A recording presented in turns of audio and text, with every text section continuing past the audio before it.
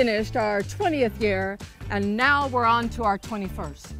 And this year is going to be one for the ages, and we want you to be a part of it.